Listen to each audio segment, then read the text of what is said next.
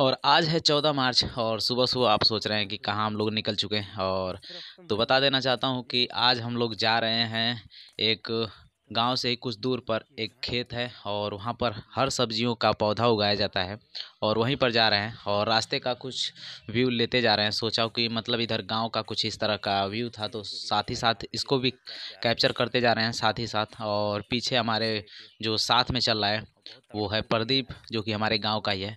तो पौधा उसी को लेना है और चल दिए हैं खेतों की तरफ़ और खेत मतलब अभी यहाँ से मुश्किल से आधा किलोमीटर दूर पड़ता है गाँव से। तो अभी देखिए इधर का कुछ लोकेशन तो हमने वीडियो को बीच में बहुत कट किया है और बाकी आप लोगों का ये सब चीज़ें आपको दिख रहा होगा। तो हमने यहाँ का सीन शूट किया और पीछे का देखिए काफ़ी खूबसूरत यहाँ का है। और अभी मुश्किल से लगेगा हमें दस मिनट जाने में और रास्ते में हमने काफ़ी इन्जॉय करते हुए जा रहे थे। और इधर देखिए, अभी सुबह का टाइम है तो सभी लोग खेतों में भी लगे हुए थे।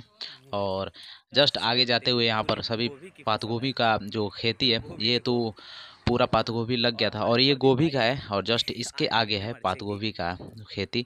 तो हमारा प्रदीप भाई बोल रहा था कि इतना अच्छा पात गोभी नीचे लग रहा है, जैसे लग रहा है कि गुलाब है और गुलाब कुछ इसी इसी तरह से मतलब फूल आता है तो काफ़ी अच्छा लगता है। और देखिए, सभी पात गोभी जैसे लग रहा है कि गुलाब है भाई।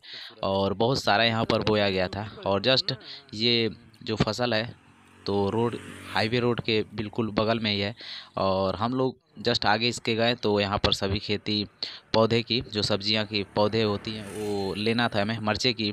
तो यहाँ पर अभी मरचा ही है, बाकी सभी चीज़ का यहाँ पर मिलता है बीज।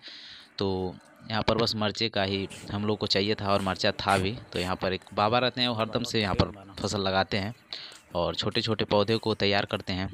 अभी चारों तरफ़ ही मरचे का ही पौधा दिखेगा और थोड़ा सा आगे जाने पर थोड़ा सा मरचे का एक कट्ठा बीज लगाए हुए हैं। तो इसी में से खेत में से उखाड़ कर ये मतलब दे रहे हैं और प्रदीप को लेना था सौ रुपये का। तो बाबा से पूछे सौ रुपये कितने का मिलेगा? तो देखिए पर पौधा तो अगर दस रुपये का लेना होता तो दस रुपये के दस बारह पौधे देते। तो बाकी हम लोग को सौ रुपये का चाहिए था प्रदीप को।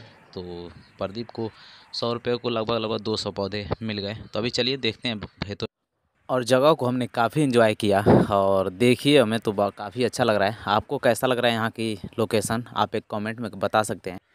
यहाँ पीछे एक यहाँ पर सिम टावर होगा और और काफ़ी अच्छा लोकेशन था। पीछे काफ़ी अच्छा आपको दिख रहा होगा, पूरे अच्छी तरह से।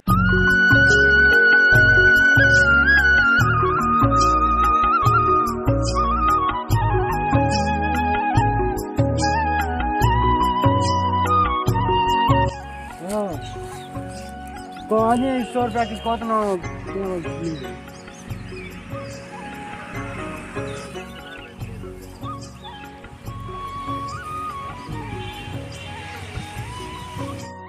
एक गड्ढे में पच्चीस पौधा है और वैसे खुलता लेंगे तो दस रुपये का दस बारह पेड़ मिल जाएगा। और पीछे देखिए बाबा उखाड़ रहे हैं।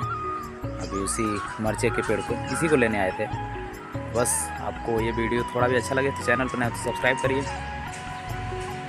और वीडियो को लाइक कर दीजिए, अगला वीडियो आपको मिलेगा किसी नए जगह पर। और पता नहीं हमें है कि किस जगह पर कहाँ मिलेगा आपको। तो चलिए सब्सक्राइब कर दीजिए।